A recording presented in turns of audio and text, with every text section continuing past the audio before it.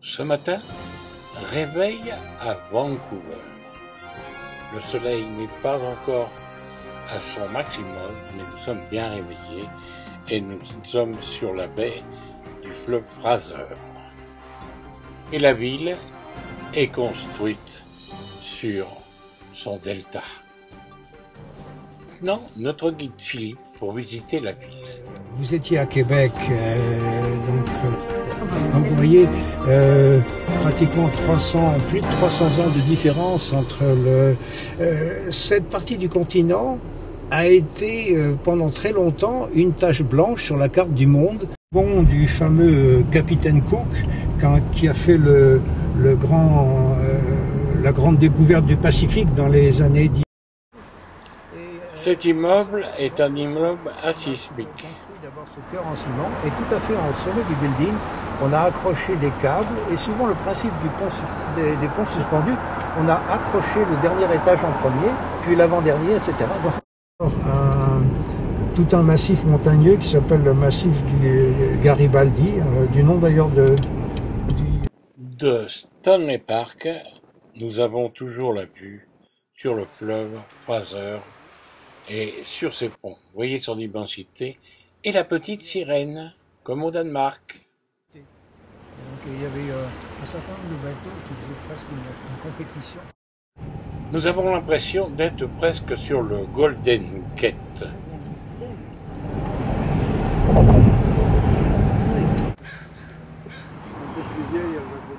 Et nous voici sur Granville Island pour aller faire un tour du marché.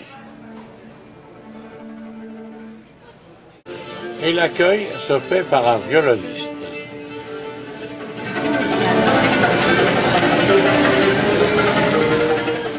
Il est toujours très intéressant de faire le tour d'un marché, ce qui vous permet de voir comment les gens vivent. Avec quoi ils vivent, de quoi mangent-ils, avec quoi sont leurs préférences. On trouvera du poisson, de la viande, surtout des fromages. Multitude de fromages, on a l'impression que l'on veut battre les quantités de fromages français.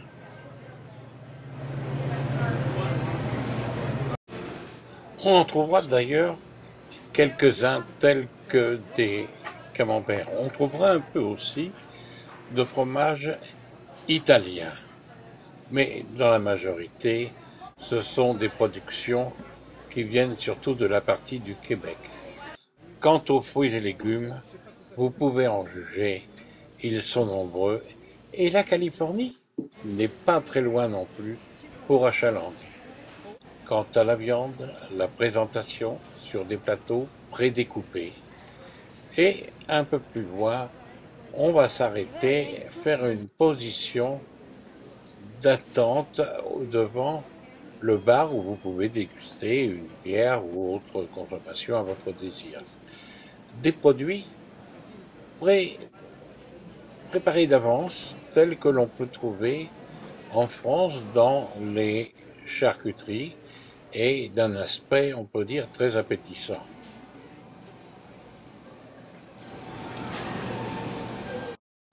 Il y a aussi le bread, c'est-à-dire le pain. Le pain, et on peut constater qu'il y a beaucoup d'imitations, telles que les fabrications que l'on peut trouver en France. Puisqu'il faut avouer que sur le continent américain, les boulangers français qui s'y implantent ont, sont assurés de faire de bonnes affaires. Bon appétit. Même des demi-baguettes, regarde.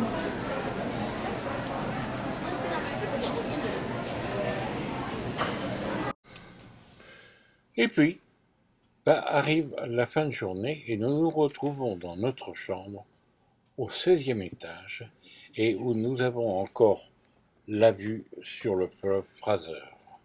Et un peu plus à droite, nous apercevons le port encore illuminé et l'héliport qui se trouve à côté, qui est un moyen d'accessibilité pour les hommes d'affaires sur tous les endroits, Vancouver étant tellement étendu. Le quartier chinois, Hong pendant.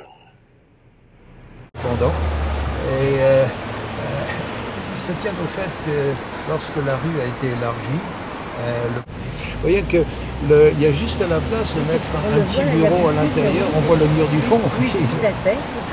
Et en même temps, euh, il y a des, des carreaux en verre sur le, le trottoir. Le Canada parle, euh, parle très peu euh, ni anglais ni français et ils peuvent vivre très bien en complètement en circuit fermé. On, on a tenu compte.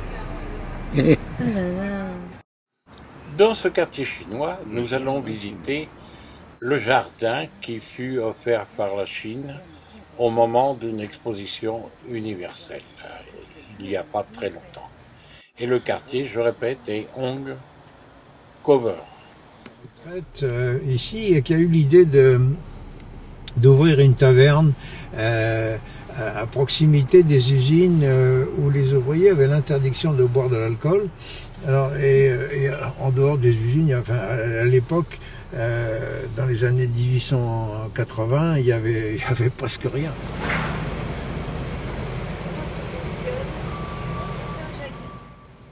Steam Clock, l'horloge à vapeur, est située dans le quartier historique de Glasgow. Elle fut construite en 1977 sur des plans de 1875. Son mécanique inextricable de chaînes, de poulies et de poids, sous sa structure de bronze et de verre.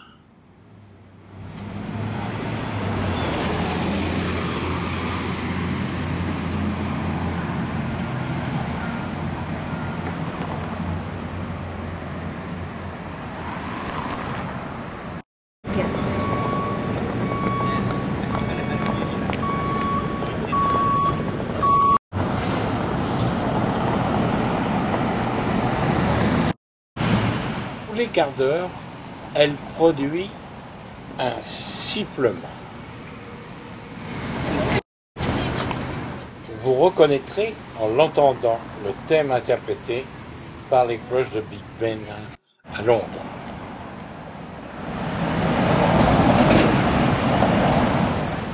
Soyons patients, dans quelques secondes, nous allons l'entendre.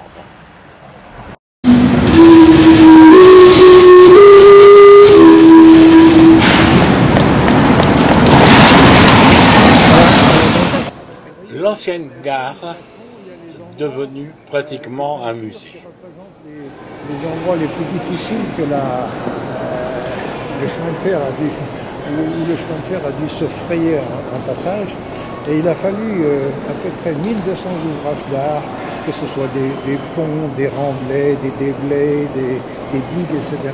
Et En fin de journée, nous allons nous installer en bordure du fleuve Fraser pour jeter un coup d'œil sur les effets du soleil et de plus s'aventurer avec la caméra dans le lointain sur cette baie et découvrir de loin la ville de Vancouver.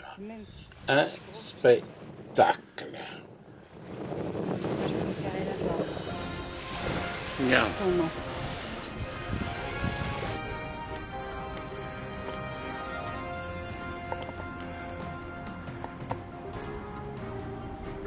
Dans le parc Elisabeth de Vancouver, nous découvrons le cratère.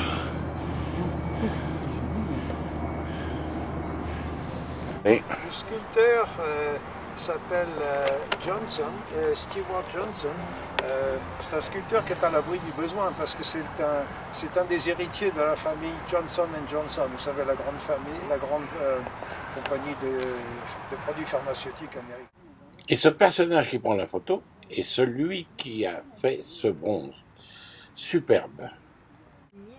C'est du parc de la Reine Elisabeth que nous ferons le tour des quatre points cardinaux.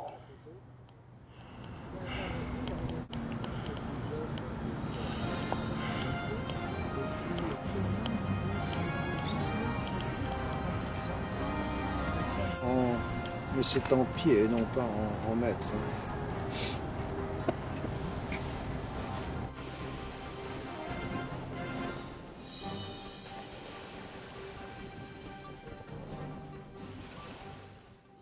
À l'encontre de tout, ce sera un coucher de soleil sur la ville de Vancouver plutôt qu'un coucher de soleil sur la mer.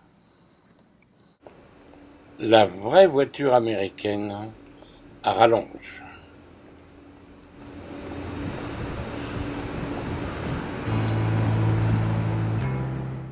Belle publicité, surtout à ne pas rater.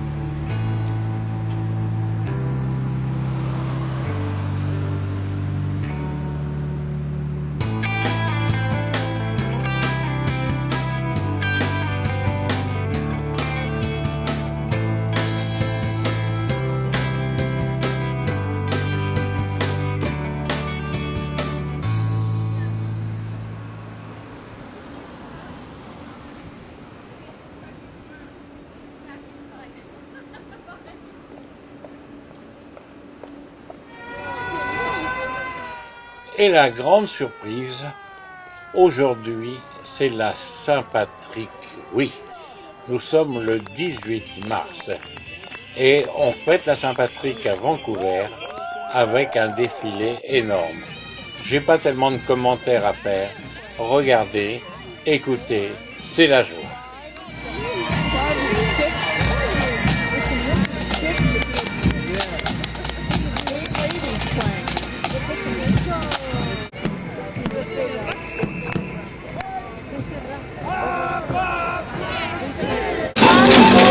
Thank